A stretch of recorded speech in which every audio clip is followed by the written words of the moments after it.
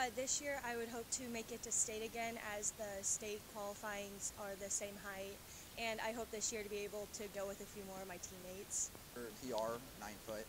Yes, it is. No, okay. So you got a mark in mind that, that you're thinking about right now, thinking clearing?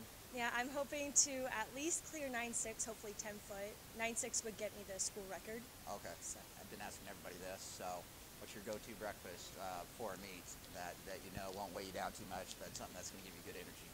Uh, I like to eat my cereal, usually Cookie Crisp or Apple Jacks, just some dry cereal. Oh, dry cereal, no milk. Huh? Well, when you have to get up early, it's nice just to get a bag and take it on the bus. So I Okay. get a snack a little bit before the So you're pretty consistent with that. hmm Okay, good deal. And then um, if you had to, you know, choose an event you could do, but maybe not as talented at, what would it be? Ooh. Uh, maybe a sprint, probably around 200. Like to be a sprinter, maybe. Yeah, I think that'd be fun because I sprint all the time in pole vault and then now long jump. I think mm-hmm. it'd be fun to do a sprint.